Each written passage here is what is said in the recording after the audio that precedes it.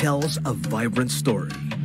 Every move is a symbol of pride. So get ready to learn, dance, and experience Filipino culture in Move with Malong, an online cultural workshop, a project of the Department of Foreign Affairs in partnership with the National Commission for Culture and the Arts, and in cooperation with Bayanihan, the Philippine National Dance Company. Immerse in the fusion of history and creativity. Witness the elegance of Filipino performing arts and dance with us and everyone across the world. Mark your calendars. Prepare your senses because all you have to do is move with Malong.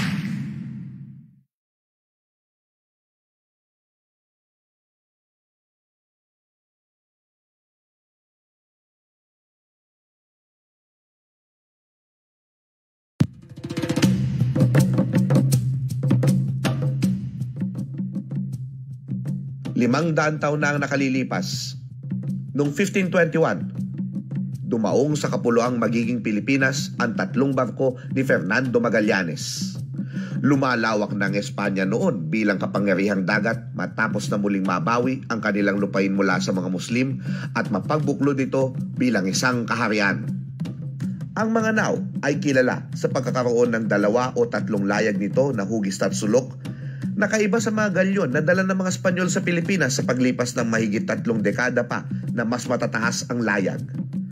Nasubukan ng katatagan ng mga nao sa tatlong taong paglalakbay ng Armada de Maluco sa maalon at mabagyong mga karagatan. Ngunit, sa pagdaong nila rito, mas matagal ng talasocracy o kapangyarihang dagat ang mga bayan at kaharian dito sa Pilipinas. Sinalubong sila ng iba't ibang sasakyang pandagat tulad ng Baroto, ang maliliit na bangkang may katig na inimbento ng mga ninuno nating Austronesiano, at ang mga balanghay na tulad ng mga isinalarawan ni Antonio Pigafetta. Gayon din ang mga karakoa na kanilang ginagamit sa pangangayaw o pandirigma. Ebidensya ng sinaunang diplomasyang pandagat ng ating mga ninuno ang isang kasulatang nilikha noong ikasyam na siglo ang Laguna Copper Plate Inscription kung saan makikita ang malapit na ugnayan ng mga karyaan ng Tondo, Pila sa Laguna, Dewata o Butuan, at Medang sa Java, ngayon sa Indonesia. Butuan eh, nandiyan na kung ang pagbabatayan ay uh, yung Laguna Copper Plate. So 900 uh, AD, nandun na ang Butuan. Ngayon nakikita ko na ano, ng ang tunay na unang Pilipinas ay yung ugnayan ng Mai at Butuan.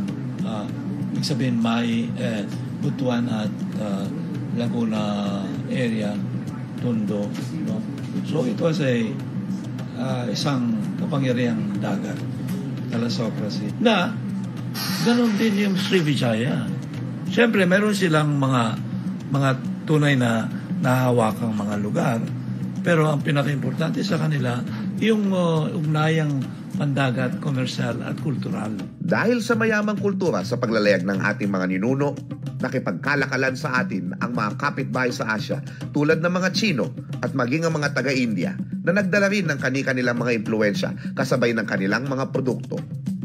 Sa panahon ng pagdating ni Magellan, ang Cebu at Mactan ang entrepo kung saan dumadaong ang mga produkto mula sa iba't ibang dako upang doon makipagkalakalan.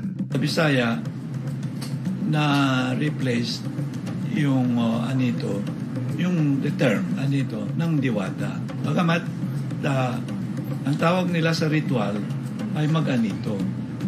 So nandun pa rin yung ritual pero yung yung katawagan ay uh, Indian no? Uh, Sanskrit uh, Devata ay, uh, Sanskrit. Uh, aside from the fact na tulad ng tinangka kong ipaliwanag nandoon yung uh, Buddhismo sa Laguna na nandoon din sa Butuan. At alam natin na si uh, Tara ay isang napaka-importanteng Diyosa ng Budismo sa silangang Jawa. At hindi lamang dyan, si Tara ay uh, isang uh, Diyosa ng mga manlalakbay. Sa pagbabalik tanaw natin sa limang daan taon ng ating kasaysayan, ating alalahanin na imbis na magkawatak-watak ang ating diwa noon dahil tayo ay pulo-pulo, pinagbuklod ang ating mga pamayanan, kultura at kamalayan ng ating kulturang maritima na dumadaloy sa ating mga ilog at karagatan.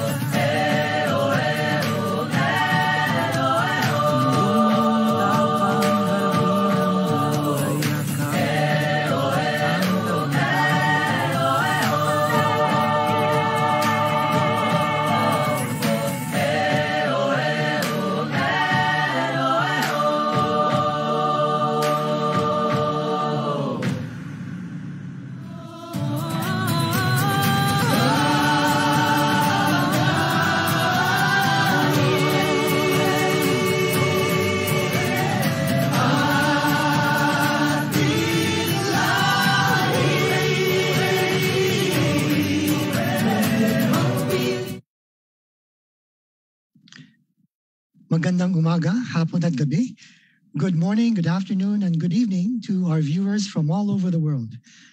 Welcome to the second episode of Tracing Our Roots, a webinar series of, on Filipino pre-colonial ancestors brought to you by the Department of Foreign Affairs, Office of Public and Cultural Diplomacy, in partnership with the National Quincentennial Commission. Every Thursday throughout September, we will feature esteemed academics in the area of Philippine history and prehistory who will lecture on the unexplored side of our pre-colonial past. In last week's episode, we discussed an overview of our pre-colonial ancestors and the life they had before colonization. And we saw how much of our ancestors' old ways and beliefs are still with us today. For today's episode, we will discover the contributions of Dr. Jose Rizal in exposing the true story of our pre-colonial ancestors. Before we begin, we would like to inform everyone that we highly encourage you to share your thoughts and ask questions of our speaker through the comments section. Our technical team will collate them to be asked during the Q&A session after the presentation. Our speaker for today's episode is a public historian whose research covers the 19th century Philippines, its art, culture, and the people who figure in the birth of our nation. He is a professor of history at Ateneo de Manila University and also a prolific and awarded writer who has published over 30 books and writes a widely read editorial page column for the Philippine Daily Inquirer. He also served as chairman of the National, National Historical Commission of the Philippines and the National Commission for Culture and the Arts. He is also a recipient of numerous national awards and honors, including the 10 Outstanding Young Men Award, the 2016 Fukuoka Academic Prize for Contributions to Asian Studies. He was also conferred the Presidential Medal of Merit and the Order of Lakandula, rank of Bayani one of the highest civil awards conferred by the Philippines, as well as knighthoods from the Republic of France and the Kingdom of Spain. To present Dr. Jose Rizal's contribution in the history of pre-colonial history through his talk, Rotten Beef and Stinking Fish, Rizal and the Writing of Philippine Prehistory, please welcome Dr. Ambeth R. Ocampo. Good afternoon, everyone. Um, the um, the talk today is basically uh, follows our theme on tracing our roots. And uh, today, this afternoon, I want to talk about Jose Rizal's contribution in the understanding of our pre-Spanish and our prehistoric past. Um, it is very important to know that uh, before we go on, that I hope you can follow me on uh, Facebook. Um, I'm also on Twitter, so so people can can follow uh, what I write and what I do. Uh, if you're interested also in this, the advertisement, um, most of my books are available online uh, from Shopee, Lazada, and uh, National Bookstore. Um, today, I want to talk about the search for the prehistoric Pinoy. No, um, Rizal was also interested in finding the prehistoric Pinoy simply because in the past, um, the Spanish used to claim that they brought civilization and uh, and the faith to to our islands. And for most of the time, um, our history began with the, the Battle of Mactan and Ferdinand Magellan, which closed us off to centuries uh, long before um, Magellan actually arrived. And so Rizal was interested in the prehistoric Pinoy just as we are today. But before we begin that, we have to understand what prehistoric actually means. And when we say prehistoric, most people associate it with um, dinosaurs and cavemen, which is not exactly uh, wrong, but to be uh, correct about it, uh, prehistory is basically the period before written records. And since our first written record is the Laguna Copper Plate, uh, our recorded history begins in the 9th century um, until we find uh, an earlier document. Now, in Rizal's time, he did not have uh, the advances in archaeology and anthropology that we have today, but he started a search for our prehistoric past by looking into what the Philippines was before the Spanish arrived. Um, when I was a student, I had um, attended a class. I attended in UP the class of the late Arsenio Manuel, anthropologist.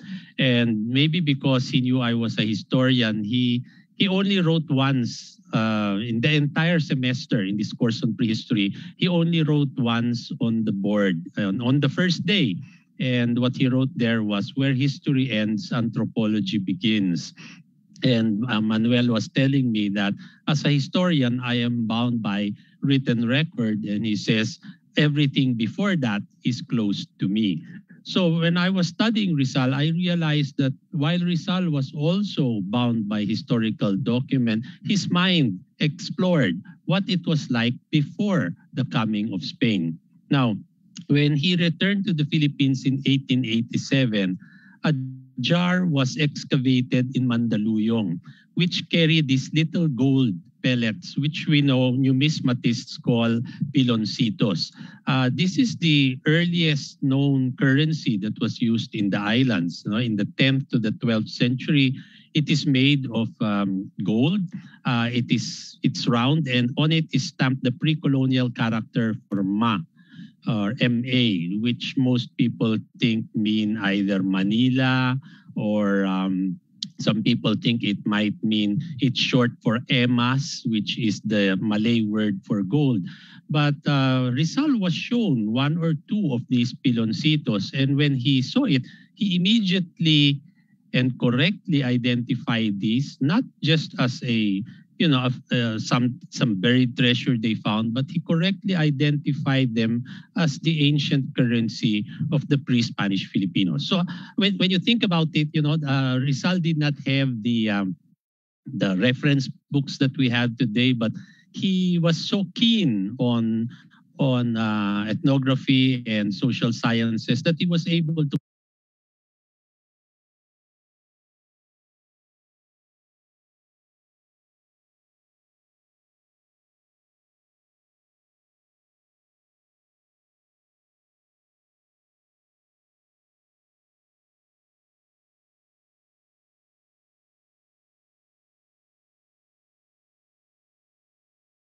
correctly identify this. Um,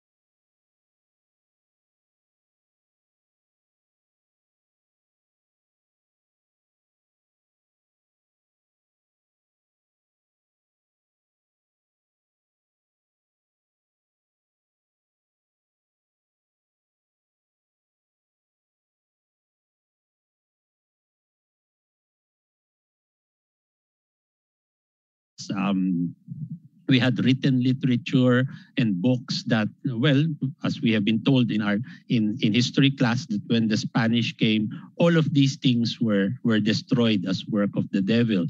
But uh, i'd like to think that today that we are more sober we should rethink that and realize that uh, actually some parts of our culture were not really obliterated but they are actually survived because the spanish decided to um, to study them. We have vocabularios. That's why our languages have survived.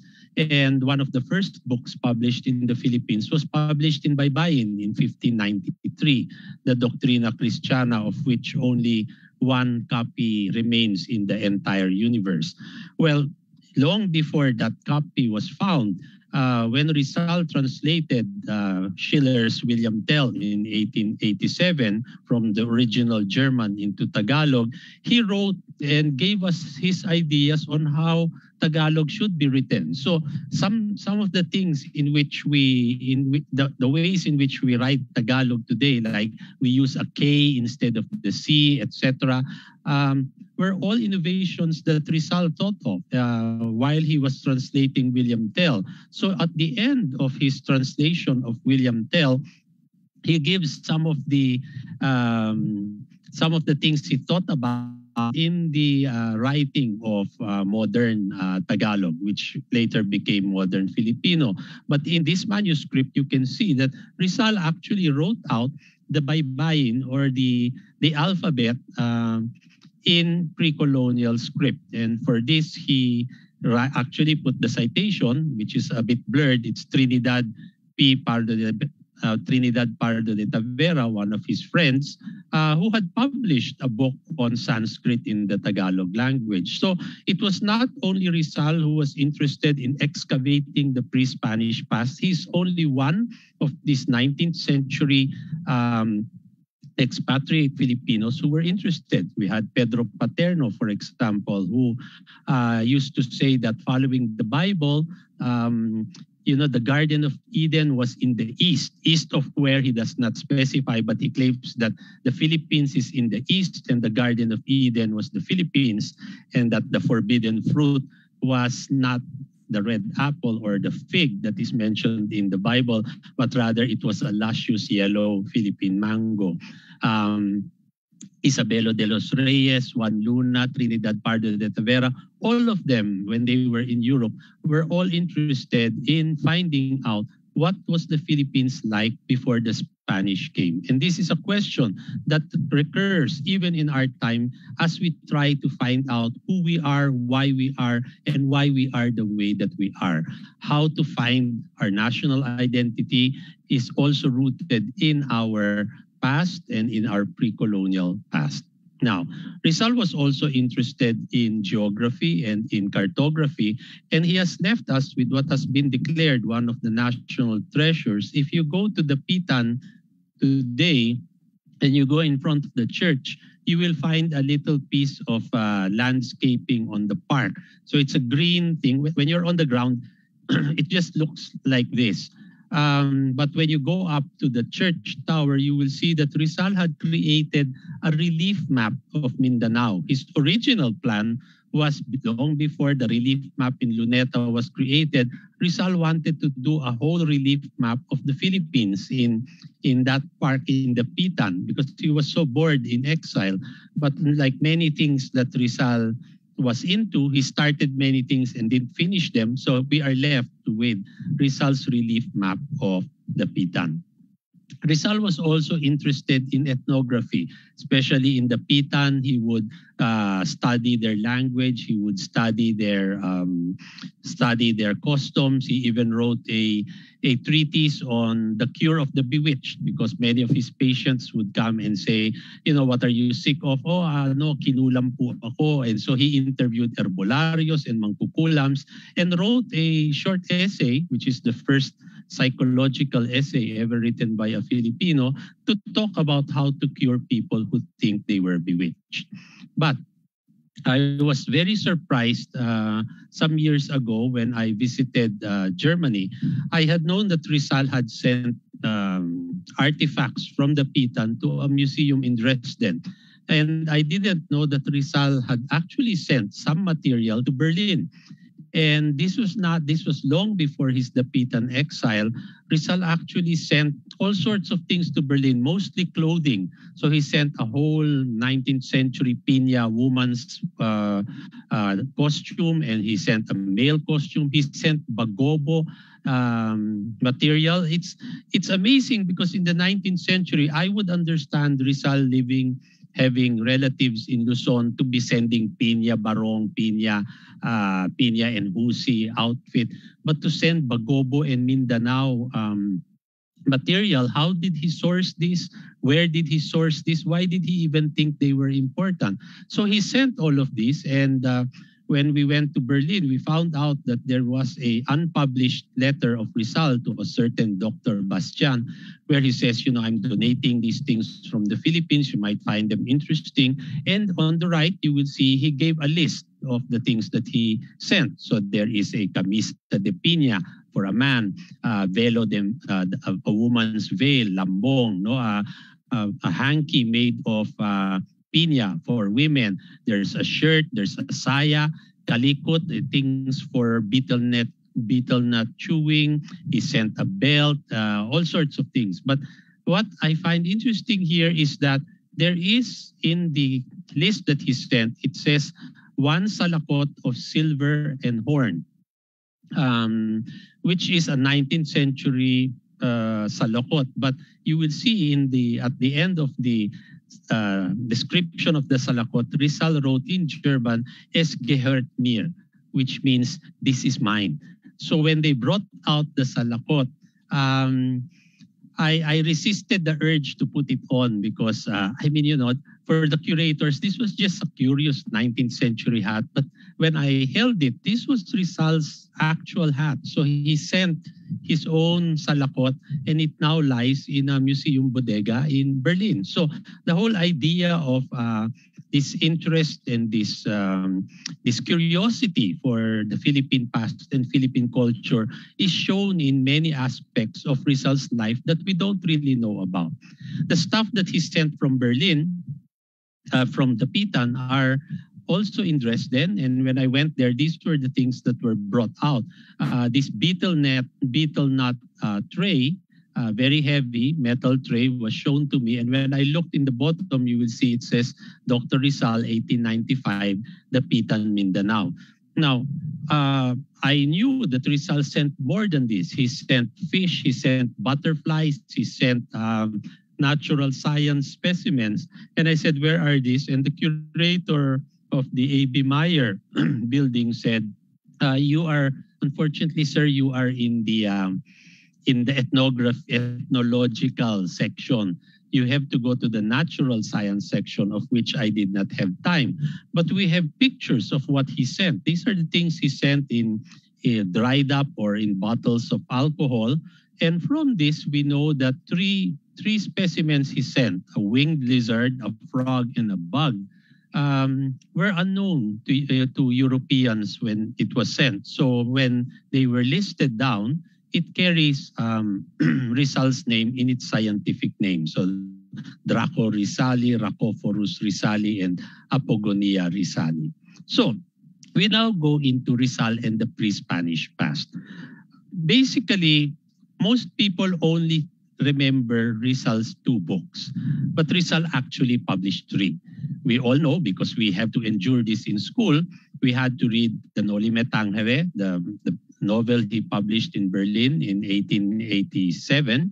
And we know about El Filibusterismo, its sequel, which was published in Ghent in Belgium in 1891. But few of us uh, actually read his second book, the forgotten book called The Sucesos de las Islas Filipinas or Events of the Philippine Islands by Dr. Antonio de Morga. So in effect, Rizal did not actually write a history book. He annotated one. So what he left us are footnotes in this edition that he printed in 1890. Now, why did Rizal want to do um, an edition of the Morga? When he was in the British Library reading all the Philippine material he could find, he realized that what passes for early Philippine history was written by friars.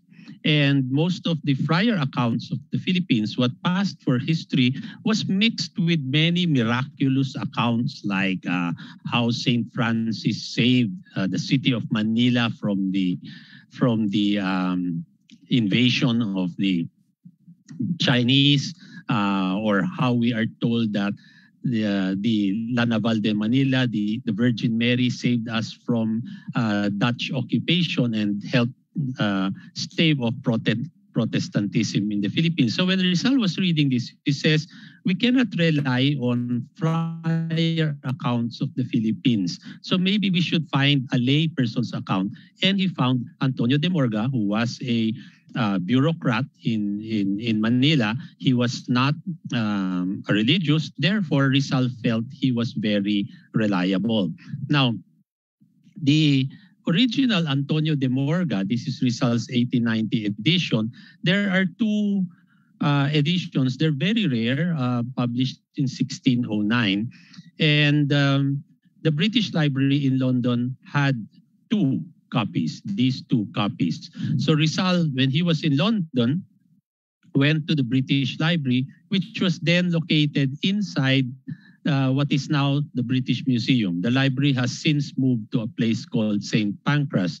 And I was lucky as a postgraduate student in the 1990s that I had experienced Rizal's own uh, research in this library. The library is a very beautiful space. No, it's it's inside a dome, and this was what the library looked like in Rizal's time. Um, when I um, went to London on my first week, my supervisor gave me a a letter of introduction to the British Library. And he says, here, here, Ambeth, is your letter of introduction. I want you to go to the British Library and do some research. And because I was stupid and proud at the same time, maybe because I was young, I said, you know, sir, I, I came here to write a dissertation on Rizal, and in my luggage, I brought the 25 volumes of Rizal's writing. So all I need is to lock myself up in my apartment, and I'll just write my thesis.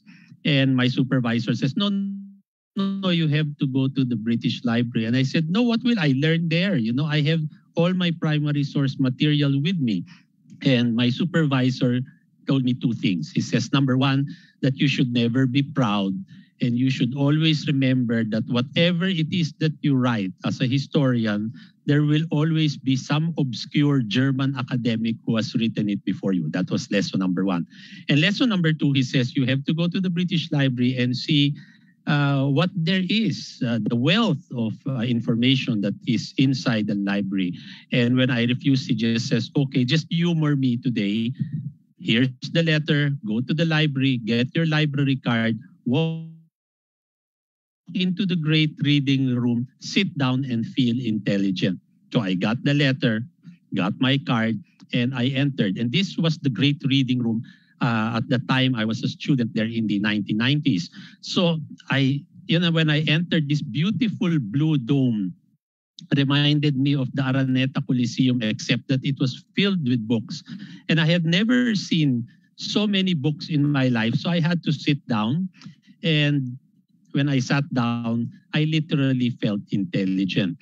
Um, they did not use a computer at the time. You can see the circular thing in the middle is the card catalog. So you would um, get out a huge scrapbook, look up the book, go to the middle, uh, request the book, and you would wait uh, at least an hour or two before the book arrived. So the seasoned researchers would put in a request, go out and have a beer.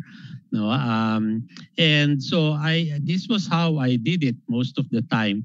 And because it was very difficult to get in, only readers were allowed in. It was a very quiet place to read and to to to study. Uh, the the library was open to the public for a few minutes, about 10 minutes in the morning and 10 minutes in the afternoon. And a cloud of cloud, you know, a crowd of tourists would come in, take pictures, and most of us would go out no, because it would become too noisy and distracting. But I realized when I was there that the tourists all went to a particular chair. All the tables had a number because this is where your books were delivered. And most of the tourists went to this chair, which was numbered G7. So when the tourists left one day, I asked the librarian, why are all the tourists going to G7? And the librarian told me, G7 is where Karl Marx sat. Ah, so that's it. Uh, so when the tourists had left and it was it was empty, so I sat there, and while I was warming Karl Marx's seat, uh, it dawned on me if they know where Karl Marx sat, they might have known where Rizal sat. So I went to the librarian again and said, uh, you know, our national hero was here in 1888. If you know where Karl Marx sat, maybe you know where Rizal sat. So they said, wait, let's let's have a look. And so they dug up And, you know, uh, histori- historically minded as they are, they actually have results um, application to to to read at the library. And he had a letter of introduction from a friend who was working in the India office library.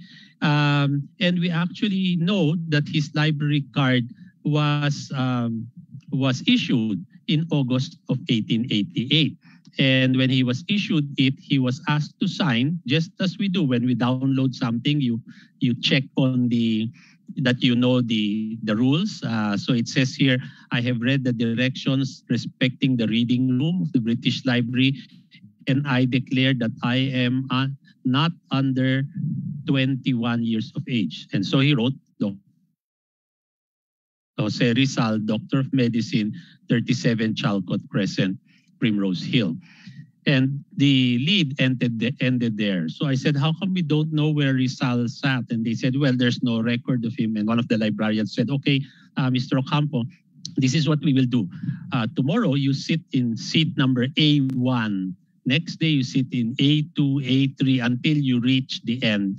And he says, in, in about a year, you would have sat on all the seats and you would have sat on Jose Rizal's seat, but you don't know which seat it was. So anyway, while thinking of that, I said, why don't I request the books that Rizal uh, requested?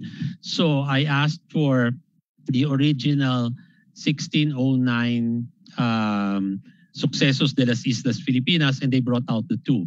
But which of the two did Rizal use? And I saw in Rizal's, the end of Rizal's um, 1890 edition of the Morga, he wrote that I copied the original book existing in the British Library and he gave the call number of the book C32F31. And when I looked at the book that was on my table, as you can see on the bottom, it says there F31. So this one, uh, the book on the left, is the exact same book that Rizal had used a century before me. So I went through it. I was so pleased uh, to, to, to see it, just to know that this was the same book that Rizal had copied out by hand because there was no photocopying machine. And later, when he published on the right, you see the Paris 1890 edition of, of Morga by Jose Rizal. And uh, when you see that, you know, what's interesting here, this is the British Library copy. In 2018, I was there and I found out that Rizal had actually autographed the copy, but I think it got torn. So half of the part of the page is missing, but we can still see Jose Rizal, Paris, 1889.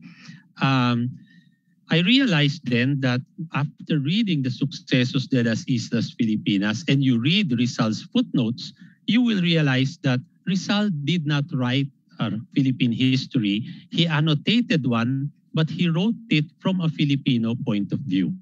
The British Library also has a copy of the Noli Me Tangere, which is also signed by Rizal. And you see it's inscribed to the British Museum and it says the author. He didn't sign Jose Rizal. But anyway, what got me interested in the Morga? The Morga is 1890. Rizal's annotations are are mostly obsolete by now. But why is it important to at least know why Rizal was reading the Morga and why he was interested in finding our pre-Spanish past? The one of the page in one of the pages, I found that Antonio de Morga in 1609 described the Filipinos who were eating, you know, fish, uh, pork, venison, etc. And Antonio de Morga in 1609 wrote, the Filipinos eat rotten fish and they know that it is rotten because it stinks. Um, and in the very long footnote, Rizal was very angry. And Rizal actually said, Filipinos do not eat rotten food. That is bagoong and he says, just because you don't understand our culture and our food, don't diss it. So what I saw here was when Rizal was annotating the book in 1888, he was actually talking to somebody who had lived centuries before and talking to the Spaniards of his age saying, this is what Filipinos are. This is where we came from. This is our culture. So you take us for, for what we are. And that's when I realized that therefore, the Sucesos de las Islas Filipinas, unread as it is today, is important to us because it is the first history of the Philippines by a Filipino from a Filipino point of view. And if you think about it, in the rest of Southeast Asia, uh, this is one of the first um, histories from a Southeast Asian viewpoint that was made in the 19th century. So Rizal, especially to, to read Morga, the most important chapter is chapter 8 because it talks about what the Philippines was like during the contact period. And here Morga talks about what he saw, um, he says that the Filipinos had a form of writing. They had their own uh, government and social system. Uh, they made cannons. They made boats. Uh, they traveled along the seas. So Rizal, by, by using the Morga, was able to bring people back and tell them that before the Spanish came, we already had our own civilization. Now, it is unfortunate today that Rizal's Morga is not used by historians because they claim that his annotations were not scholarly enough or not historically sound as they should be.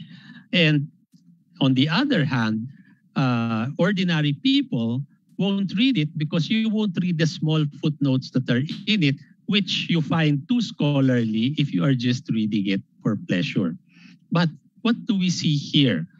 Rizal simply states in so many very angry footnotes. And you know, when you read the footnotes, they're not academic because he's always he's always angry. You No, so he's always answering all sorts of things. No, like um, there was a there was a, a bishop who was very kind and um, according to the friar accounts when this bishop died uh, they buried him and then many years after they opened the coffin and they found out that he was incorrupt. He did not he did not uh, rot or disintegrate.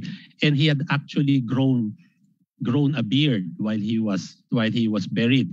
And so Rizal put a footnote who believes this? And he says i know better people who who have less beard and and better clothing, something like that. So when you read the annotations, Rizal uh, is is angry, but Rizal is actually pushing for the recognition that we had a pre-Spanish civilization.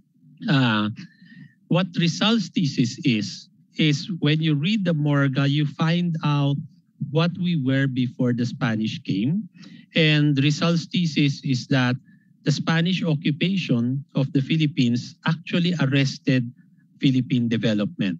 Whatever it is that we were doing and uh, wherever it was that we were headed development-wise was stopped or arrested by the Spanish by the Spanish who decided to change our life and our lifestyles by giving us instead of the baybayin they made us use a roman alphabet uh, they taught us a new language. Instead of our old religion they gave us a new religion no christianity. So rizal says that for all the things that spain claims is the civilizing process in this colony, the Spanish occupation actually arrested Philippine uh, development.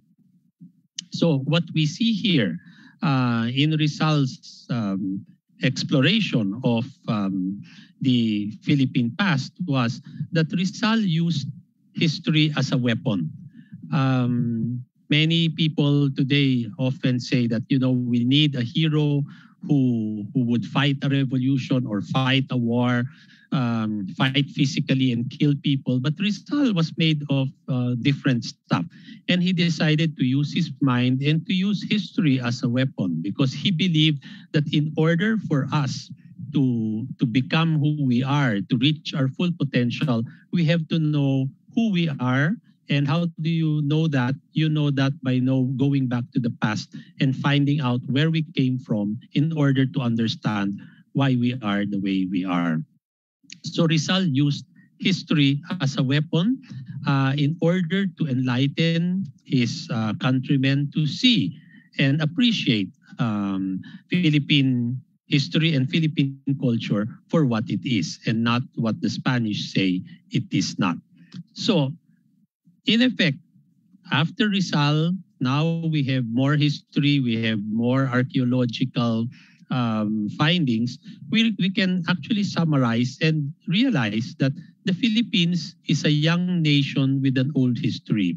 We are young because depending on who you are talking to, the Philippines only became a nation post-war when the Americans recognized the independence of the Philippines in 1946 or the Philippines uh, only became independent in 1898 no? Uh, when Emilio shortly after Emilio Aguinaldo declared our independence from Spain. So the Philippines historically is thus a young nation but our history is not does not just begin from 1898 or 1946 it goes all the way back to 2000 years and more now therefore Philippine history to follow Rizal's um, ideas of it he sees that Philippine history may be short, but its narrative arc is very long and it is also a complex story. So we have to look today beyond Rizal and to see that many of the things that Rizal said have found or have been validated by the latest archaeological findings. A, there was a pre-Spanish culture. B, they had a social um, structure of their own.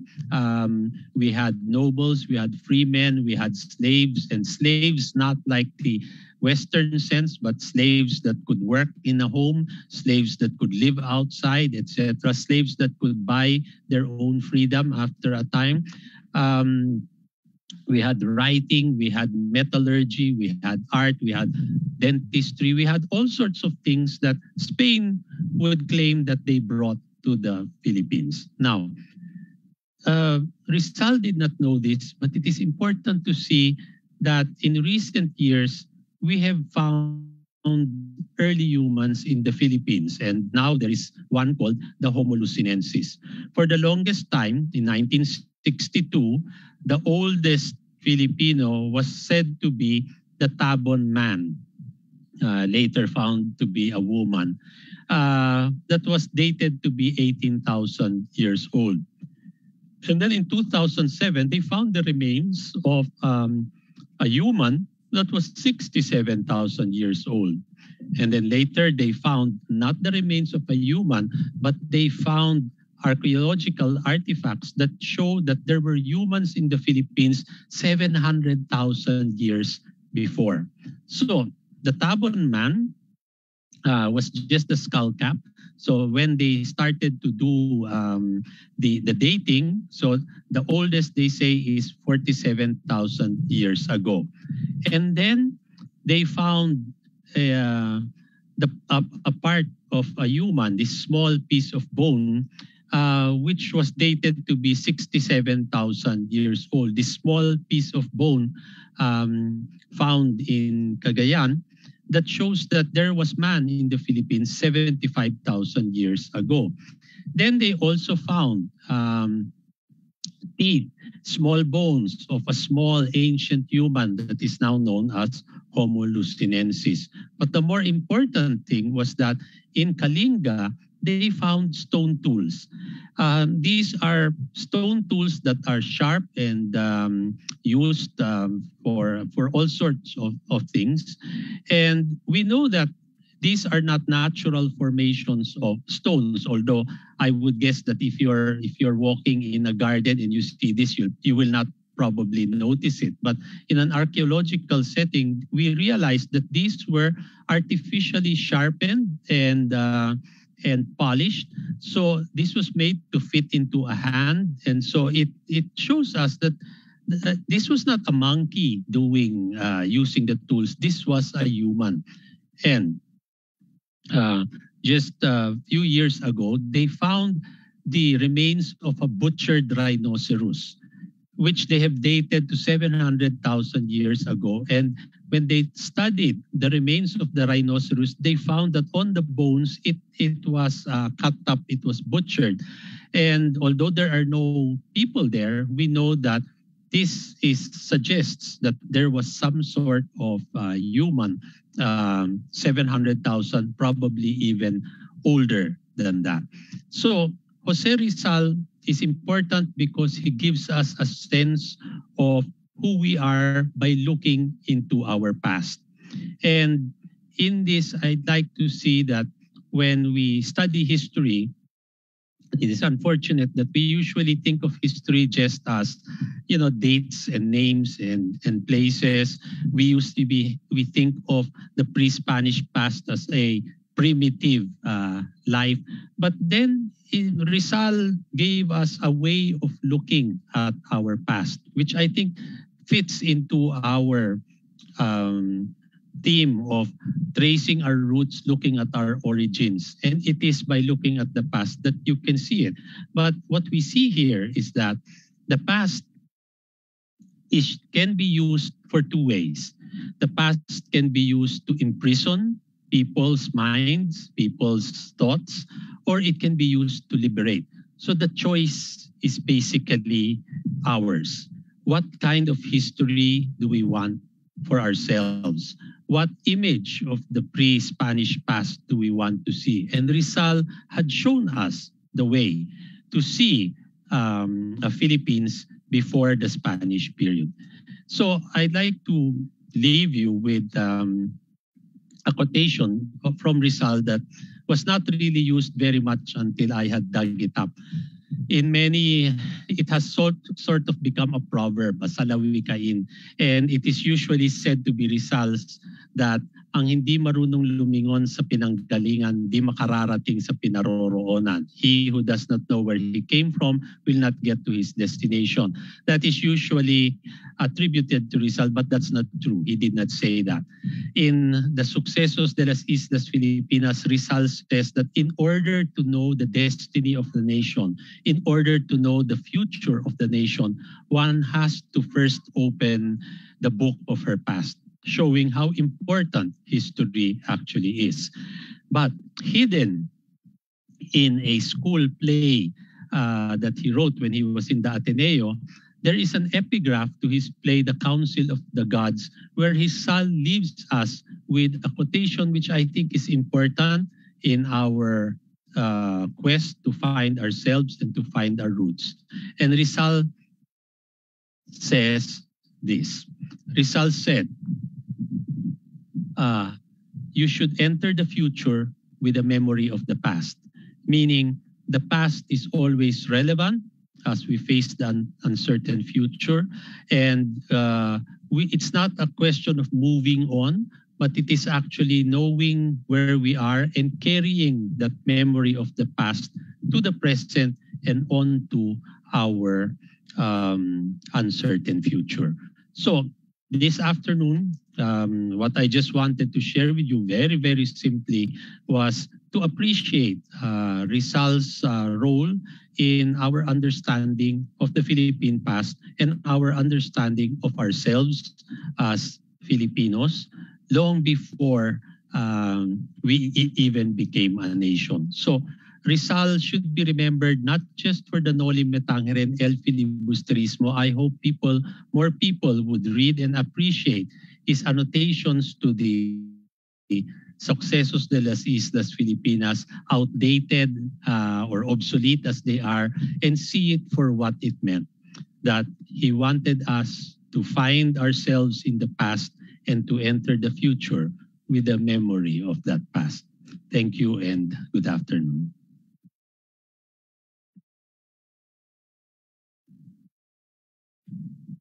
Thank you very much, uh, Dr. Ocampo. Uh, I'm sure that uh, everything that you shared with us this afternoon uh, is quite thrilling for the many chapters of the uh, Knights of Rizal that we have around the world. And uh, we would also now start with the question and answer portion of the program. Um, we have several uh, platforms by which these uh, questions could have been sent. So uh, let us now try to see what uh, we can uh, share. Uh, I see here one question from Mr. Franco Guevara. Uh, were northern Luzon inhabitants the ancestors of Polynesians and South Sea Islanders? Um, I- well, uh, I think that maybe our last session might have answered this, but uh, Dr. Ocampo, maybe if you would like to uh, begin or answer that. Wait, uh, what is the question again? From Mr. Franco Guevara uh, on our chat, you can see. Um, Were northern Luzon's inhabitants the ancestors of Polynesians in South Sea Islander? I mean, we uh, the the new um, evidence uh, is that we we seem to have come out of Taiwan. Um, people are still trying to trace, you know, the the peopling of the Philippines. But what what you really have to unlearn, if you were taught it when you were in school, like me, was uh, we were we were taught the Beyer waves of migration theory that you know a certain group of people came in the first wave, then a second group of people came in the second wave, but uh, that has since been discredited. Um, so we think now there are it's a out of Taiwan uh, theory, but again. Um, it's uh, we came from elsewhere, no. So the, the did northern Luzon inhabitants could we be, could they be ancestors of Polynesians and South Sea Islanders? Maybe not, but uh, again, this is still in flux, no, and uh, people are still debating on it. Thank you. Thank you, uh, Dr. Campo. The next question is from uh, Mr. Alexis Texon, and he asks, is there a compilation of Rizal's annotations of uh, the book, uh, The Sucesos of Morga? And does the Philippines have a copy which interested scholars or the public can uh, Check out. check out? Okay. Uh, many things are online. Um, you can actually download um, the copies of the Morga. Uh, the 1609, um, where did I? 1609 copies are quite rare. We don't have one in in Manila, but of it. No, there's an English edition by Cummins, but the actual Rizal edition, which was in Spanish, uh, has been translated already no, um, uh, into English in 1961, and they, it was published by the National Historical Commission. I don't know if it's still in print, but uh, most uh, Philippine libraries will, will actually have it. Uh, Rizal's other writings, if you're interested, um, the annotations are all in one book called uh, Events of the Philippine Islands. But his other writings on ethnography and geography, Rizal um, left us with 25 volumes of writing. He wrote a lot for a nation that does not read him. That is one of the sad facts of Rizal's life. Uh, we only read the Noli, the Fili, probably the Ultimo Adios because that's what's taught to us in school. And that actually closes us, uh, you know, uh, blinds us to the fact that he left us with so much. Um, and many of these things have been printed continuously since 1961 by the National Historical Institute. So um, if you're interested in Rizal's writings or in Rizal's edition of the Morga, most uh, standard uh, academic libraries will have copies for you to check out. I'm not sure if uh, there is a, a copy available online. The Spanish ones are available from the Instituto Cervantes website. It can be downloaded, but if you need English, um, you'll have to go to a library for it. Yes, please. Thank you again. Um, the next question uh, from Ron Aves is How did our Spanish colonizers affect the way we view our pre colonial ancestors? Okay. uh, the Spanish conquest, I mean, if you read early histories, as, as I told you, um, which were most, mostly written by friars, the, the standard was that, you know, these people are, are primitive and they have to be civilized. They do not know God. They have to be taught a new religion, the true religion. But you know, when they came here, we already had our own social life. We had our own social systems. We had our own religion, our own system of writing, and that that sort of disappeared because uh, we were we were raised to to think that you know our colonizers brought civilization to our shores and the importance of Rizal here is basically to remind us that we had something before they came. So how did it affect the way we viewed? It gave us a very negative view of um, what our pre-colonial past is. And actually, Rizal and company also uh, were afflicted partly by this in the sense that they, you know, they, as lowland Christian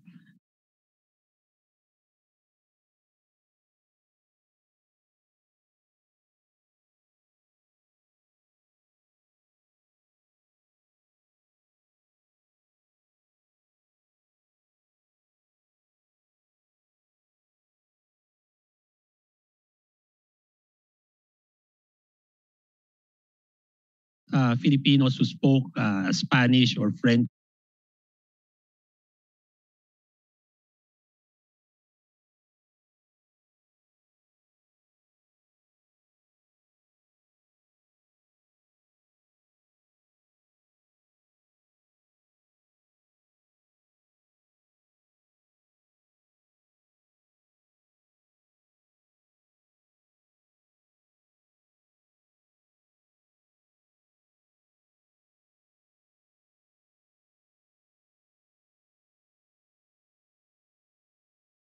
what had what would have happened if the Nazis won the war. So Yeah. please, again this is one of the it's a counterfactual no? and uh, in my in my class i often recommend that my students read an essay by the late national artist nick joaquin called culture and history um, in this nick joaquin gives a list of the greatest events in philippine history and it will turn your mind around because when we talk about great events in philippine history we often think of you know the the, the beginning of the Philippine Revolution, the establishment of the Malolos Republic, the Jego Silang Revolt, etc. But Nick Joaquin's list of greatest events are the introduction of the wheel, the introduction of the plow, the introduction of the Roman alphabet, the introduction of uh, of the guisado or how we how we cook. And um, Nick Joaquin, of course, chose all the things that the Spanish brought uh, in the 16th century. But what you see here is that Nick Joaquin was saying that history is more than historical or chronological events. History is the process of becoming, of becoming Filipino. And so he listed what he thought were great events that formed us into what we are. Now, just to just to let you know, um, when Nick Joaquin was alive and I had read this as an undergrad, uh, when I met him, I once decided I would um, I would debate with him. Now, this was my very nationalistic young stage. So I read up and uh, what would the Philippines be if Spain did not come? We would be proud. Our pre-colonial life would have progressed and we would have been completely different. But of course, that's all water the, under the bridge because the Spanish did come and change our lives both for good and for bad. So when I uh, talked to Nick Joaquin and he sort of sensed that that was where I was going, he stopped me right away and he says, what would you be, Ambeth, if Spain did not come to the Philippines? So of course I answered I would be a proud uh, Filipino that developed from my pre-colonial, pre-Spanish um, roots. And then uh, Nick Joaquin just said, no, what will you be if Spain did not come? And I said, I will be a, a pure Filipino without any Spanish baggage. And then he says, what will you be? And he says, you know what you will be, Ambeth, if Spain did not come? I said, what? And then he says, if Spain did not come, you would be an Igorot. And I said, what? And then he says, you will be an Igorot.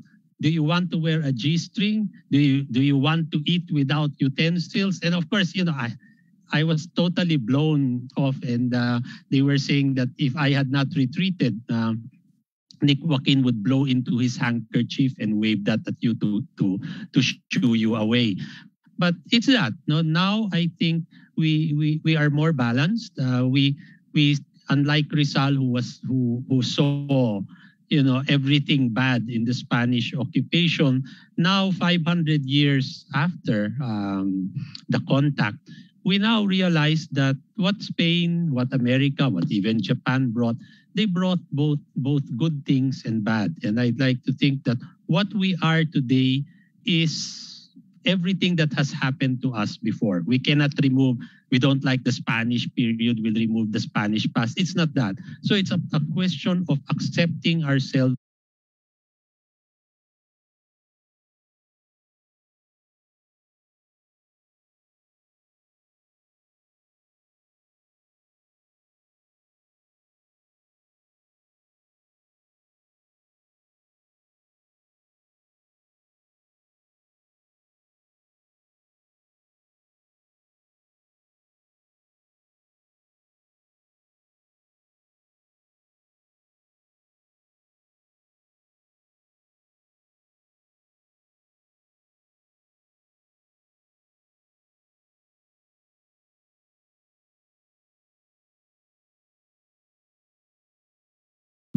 for what we are today.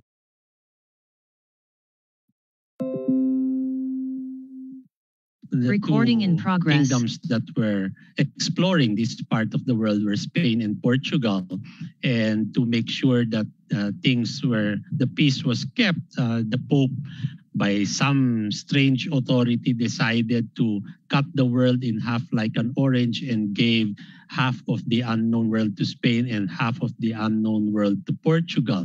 Uh, what most people do not realize is that the Philippines actually fell in the Portuguese side of the of the world. But again,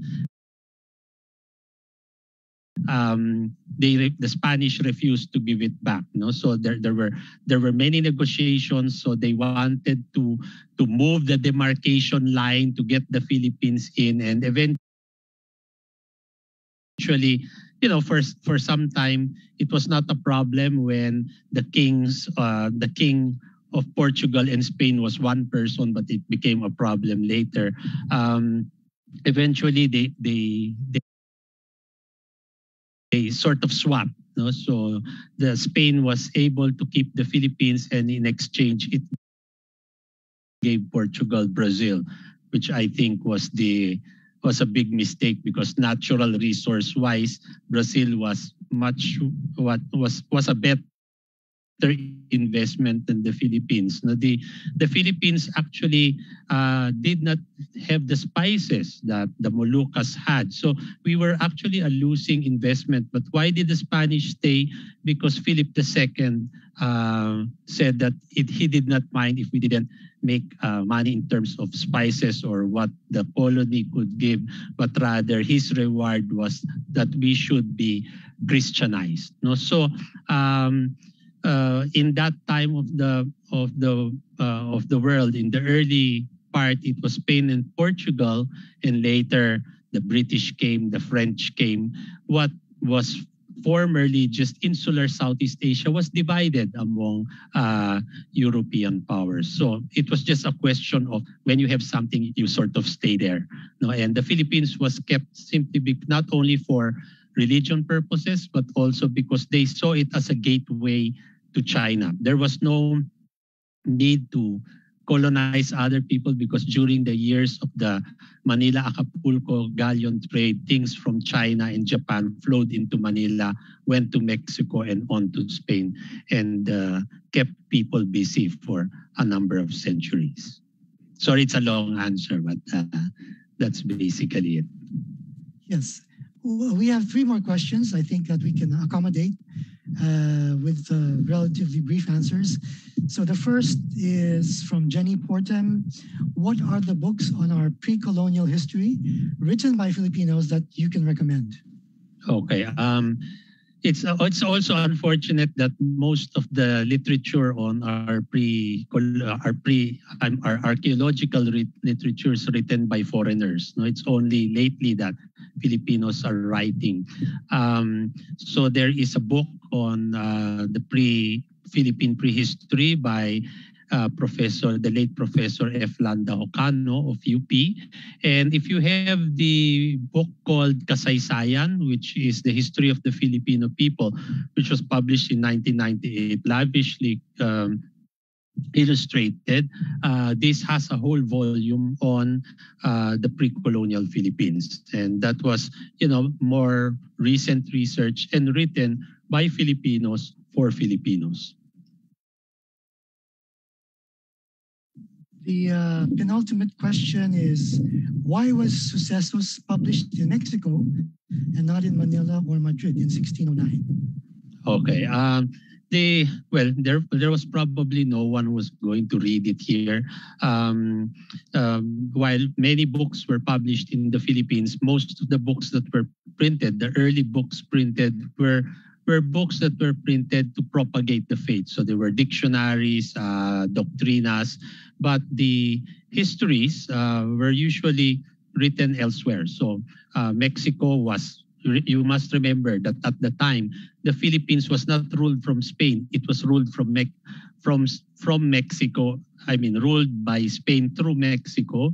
So this this book on uh, the history of the Philippines and the different governors general that ruled in the Philippines.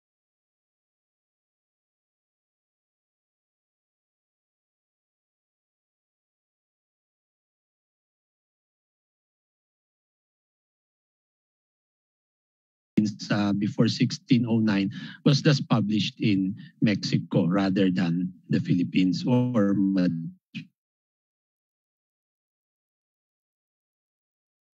Madrid.